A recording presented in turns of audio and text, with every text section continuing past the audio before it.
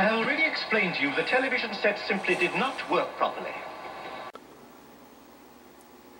Hey guys, welcome back to the RCA KCS34B chassis, which goes, I think, into that cabinet. It's out in the garage. When this chassis is restored, we'll be putting it all back together. Uh, recently, I pawed through a pile of old publications and I found the original factory service info for both this chassis and the other one I'm working on. So it's been very handy, and I have finished the recap. And I powered it up, and I've got a raster. The big problem with this set was the tuner. So the tuner it came with the ball bearing, the channel clunker shot. And it's rather difficult to repair because metal fatigue or whatever. The, the arm that there's a ball bearing that rolls along and snaps into slots that just broke off. So, uh, luckily, I found another collector who had a spare tuner for me. So I picked it up at the early television convention a few weeks ago. And here she is. I just lubed it up, gave it a look over. It, uh, yeah, it's the same thing. I guess it came from an AT Model 8T244. Should be awfully similar. So I don't think we'll have any trouble with that. So I'm getting ready to mount it right back in place. He did not include the tube shields, but I'll just swap them from this. And this is something that's kind of amusing on these early RCAs. They took a regular tube shield and they take a about an inch of heavy lead pipe and smash it down over the tube shield and hold it on with a clip. Why would they put a heavy lead jacket around it? I believe to reduce microphonics. I don't believe I know it's to reduce microphonics, but how well does it actually work? I don't know. It's not there to shield from radiation or anything like that. It's to keep the tube as still as possible. So you'd imagine this set's mounted in the cabinet, and with the speaker, the cabinet can vibrate a little bit. You don't want the little elements inside vibrating because that's the local oscillator, that would throw the frequency off. Alright, so Shouldn't be too hard to pop that guy into place. Just a few screws and then I gotta hook up five connections along the back and the signal input on the top. And I gotta remember to install the right one. I'm not installing that one, I'm installing this one. New tuner's been installed, tested all the tubes. Does it work? Not exactly. Just starting to get into the troubleshooting phase as the set warms up, it does various things. Uh, but immediately, well, well, a couple things. The tuner does receive, so here I'm off channel, here I'm on channel. Should be a crosshatch pattern. That's what starts happening as it warms up. It goes from just full being washed out back to this. And stuff in between. Actually, it's not a crosshatch pattern. That should be modulated video. This is a crosshatch pattern. So we don't have sync. That's one thing. Playing around with the sync controls now. This should be horizontal sync I'm manipulating. I've tried adjusting the coil. There's a coil. Uh, I think this is the synchro guide system. That doesn't seem to be working too well. This I believe is contrast. So at least at the moment seems to be doing its thing. Minimal contrast, gets washed out, go up higher, we start getting some definition. And this is brightness, which also seems to be working at the moment. Adjust fine tuning. That's doing something. If I go off channel again. So, I've tried wiggling tubes, tapping tubes, nothing jumps out at me right away as being. Uh, I've, I've yet to get a, a locked-in picture on it. So we're going to try a few tried and trusted uh, troubleshooting methods. One is signal injection. So I get this thing on its side, and just like with an amplifier, we're going to go the closest to the output. So we're going to go in the grid of the video amp, inject a composite video signal, and work our way back someone uh, actually brought this up online. It's a similar situation. I think it's also an RCA, but a little bit newer.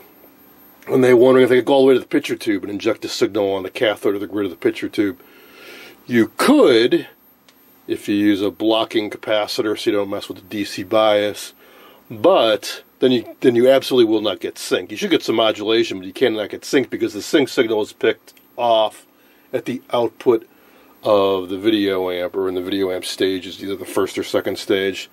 So we really want to go to the grid of the uh, first stage of the video amp.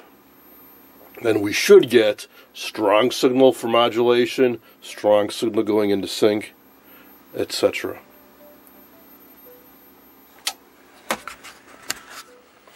Okay, got my TVA92 fired up, outputting composite video.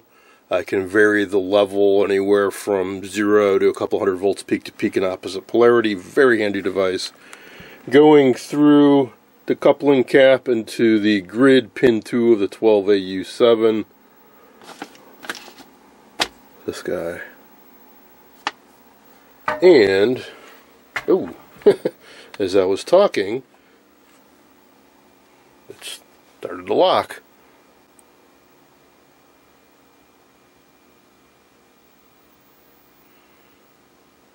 It's kind of unstable, but I'm probably using uh, too much signal and it could even be the wrong polarity. So let me back that off a little.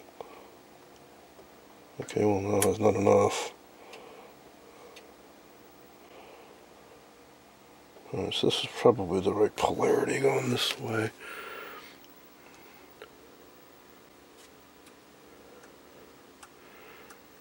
There is an AGC control in the back of this set too. There's, there's quite a few settings in this. It's one of the more elaborate sets.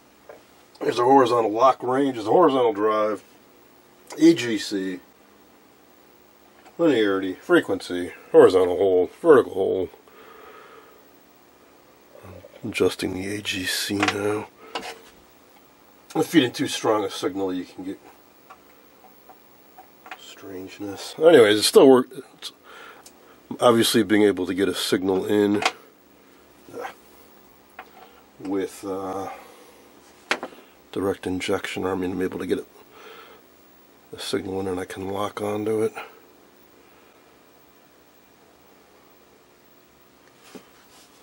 Some other patterns. So there's a circle pattern.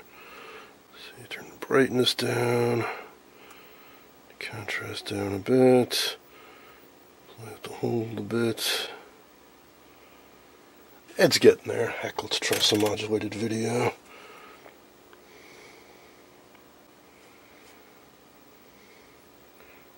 Alright, so the sync is a little goofy. And it's kind of overdriven. But clearly we're getting something coming through.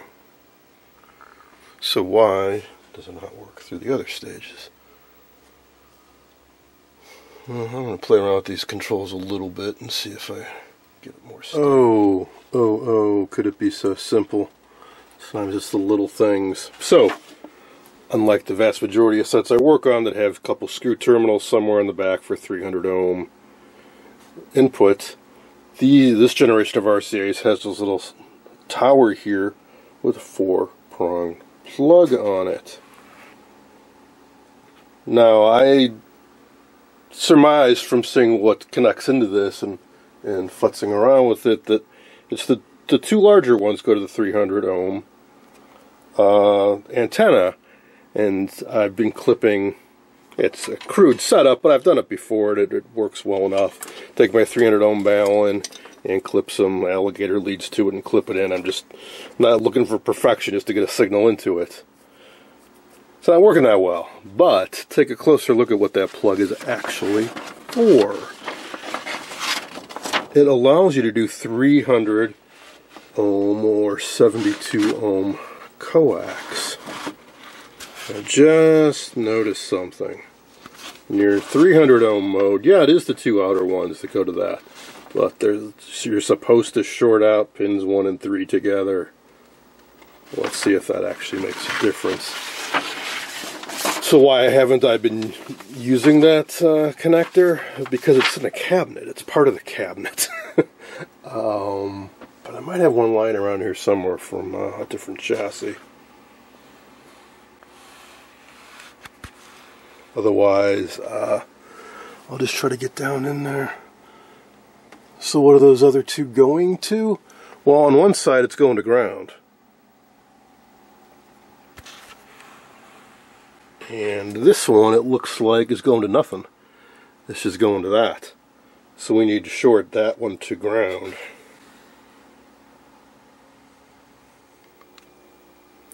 Alright, things are finally looking good going directly through the tuner.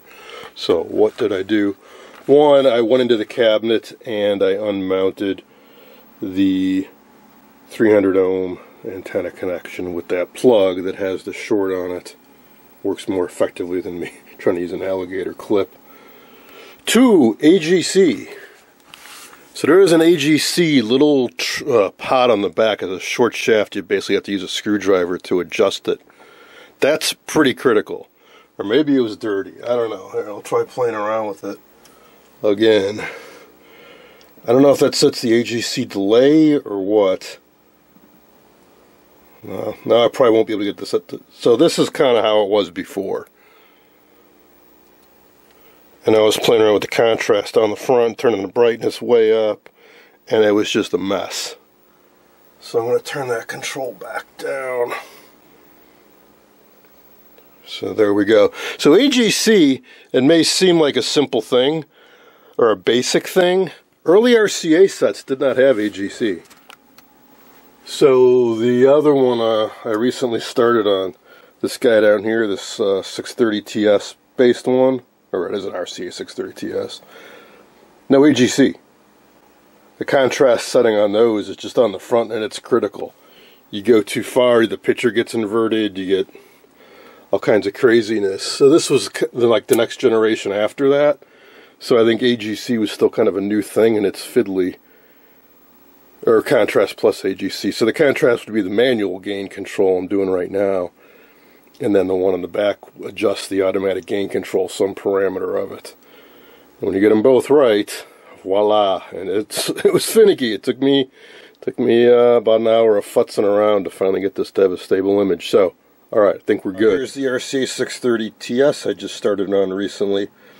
This doesn't have AGC.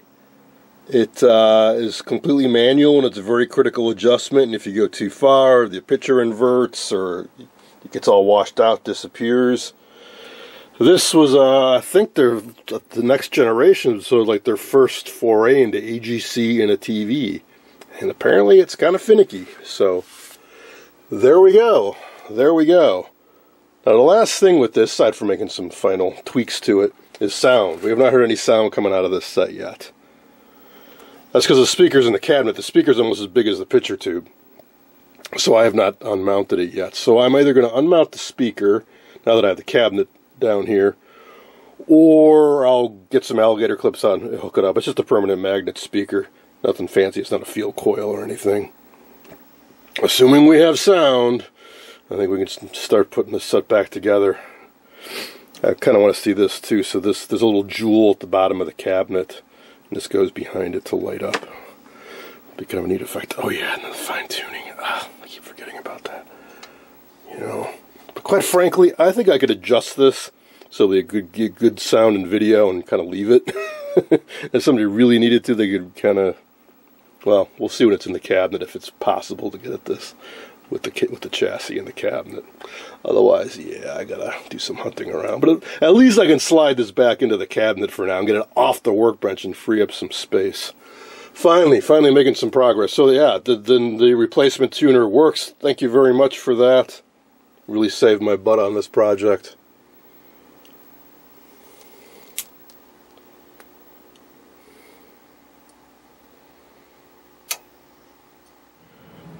I thought that speaker connector looked familiar, so I went through my assortment of speakers up here. So several that looked right, but these are both field coil, but I found one. I found one. It's permanent magnet. Got it hooked up? Oh yes, we have sound. And we have a stable picture. Now there's one other thing, aside from this fine tuning belt, I gotta deal with, or I should deal with, I think. And that, unfortunately, is flaking dag coating. It's especially bad where you guys can't see it down all along the bottom here.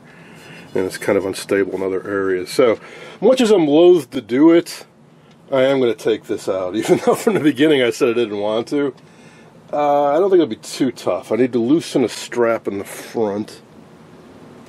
So it clips on. Okay, so it clips on this side, but this side has a screw. So all I have to do is loosen that screw. And I'll take some reference photos for where this was positioned, just to save myself some time when I put it back.